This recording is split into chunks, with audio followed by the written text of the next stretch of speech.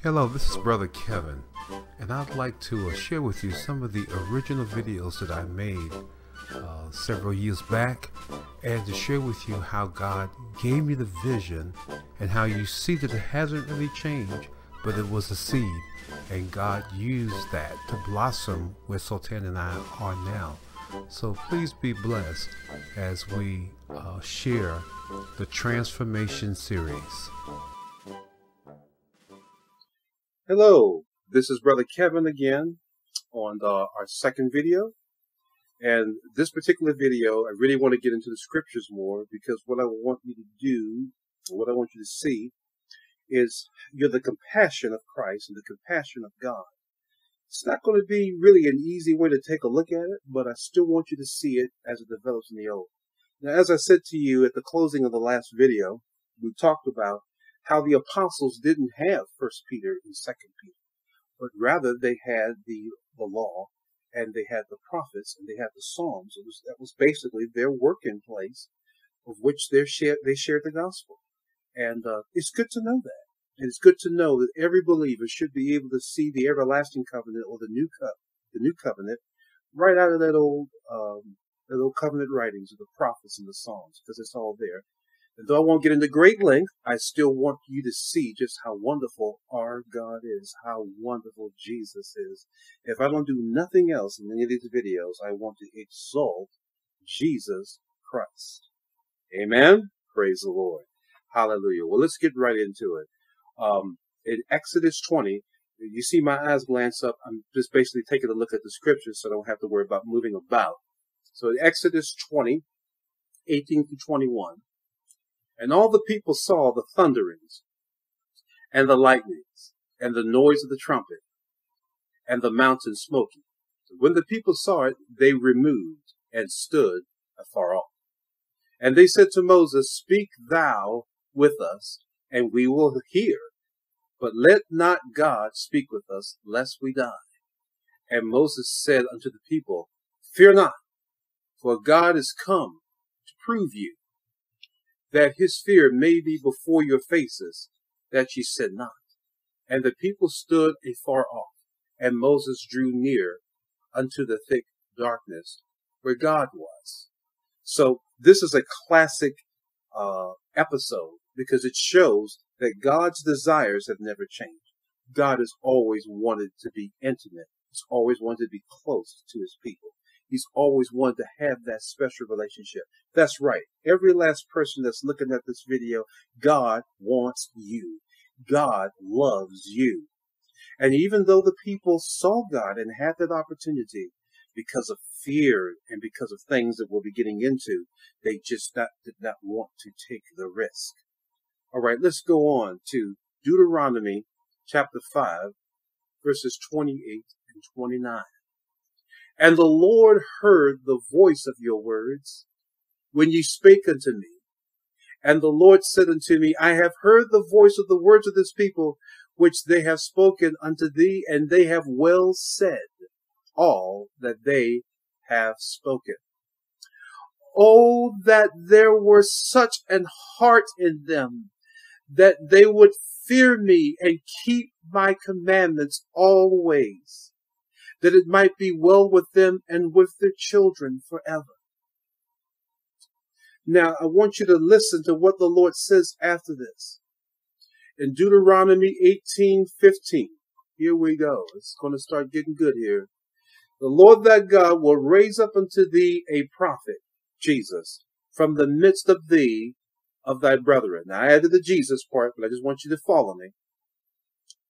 Like unto me, unto him shall you hearken according to all that thou desirest of the Lord thy God in Horeb in the day of the assembly, saying, Let me not hear again the voice of the Lord my God, neither let me see this great fire any more, that I die not. And the Lord said unto me, They have well spoken that which they have spoken. I will raise them up a prophet from amongst their brethren like unto thee, and will put my words in his mouth, and shall speak unto them all that I shall command him. Now I want you to know that this is a pure manifestation. God says one of Christ's functions is going to be. That which in our heart that is afraid, that's afraid of God, that's afraid of holiness, that's afraid of this fire.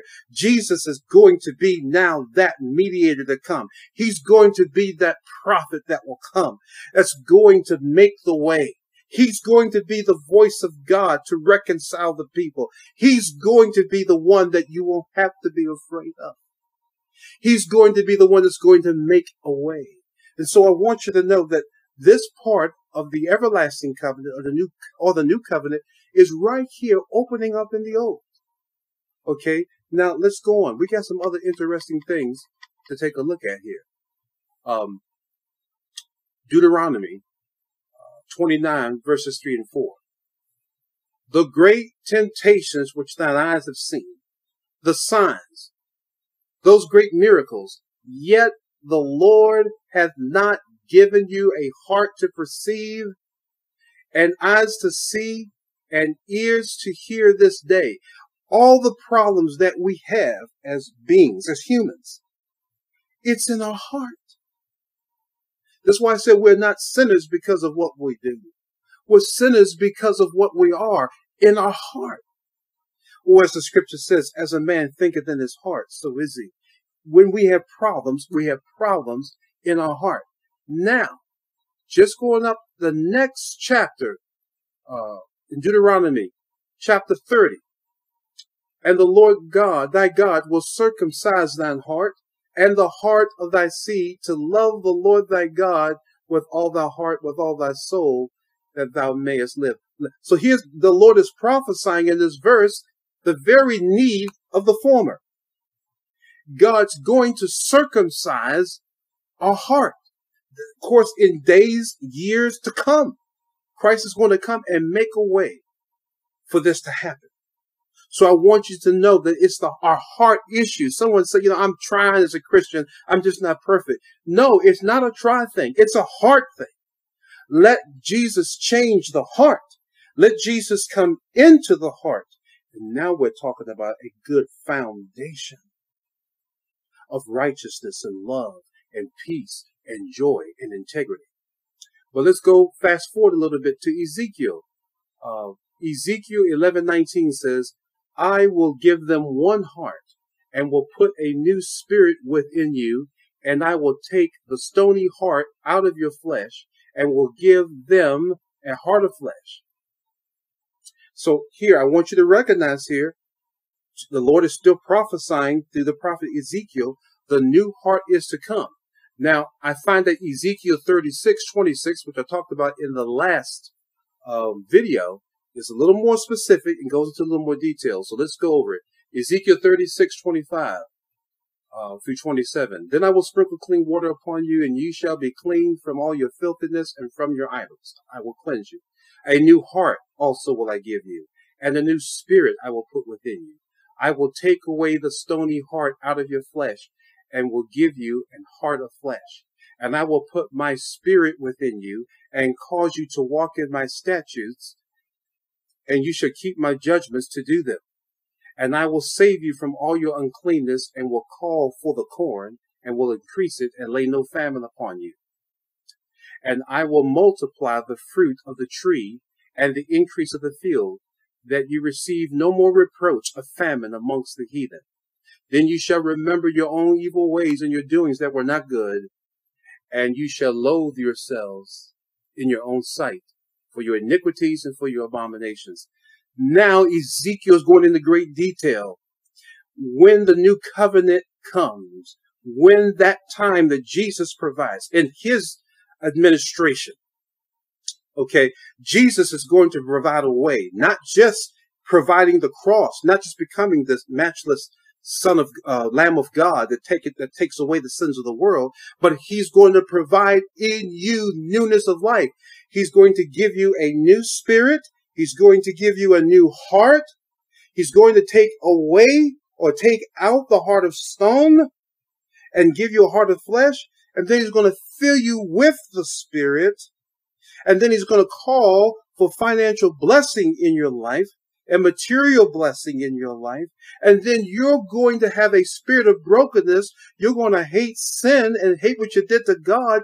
You're going to be a broken, but yet a new person. As we said before in the Pauline writings, if any man be in Christ, he is a new creation. You're going to be made brand new when you receive Jesus Christ. You're not going to have to fix your old life up because God can't use the old heart. He can't use the old life. He's going to give you a new one. He's going to give you a new heart. He's going to give you a new life. Well, anyway, I'll have to continue this on another video, but it really gets awesome. Okay, so we need to understand that the gospel is supernatural. When you receive Jesus Christ as your Lord and Savior, you're not joining a worldview. You're not getting a worldview. No, you are being transformed into a brand new person that Jesus Christ himself creates. And that's what makes your walk with God effective. Not you, but what Jesus does inside of you. Well, God bless you until we get to the third transformation video because I still believe that the gospel transforms. And if you're seeking God, if you're interested in Jesus Christ, He's right there with you now. Call upon His name. He'll answer you because you're the reason He died. What a God. What a Jesus. God bless you. Love you much. Bye bye.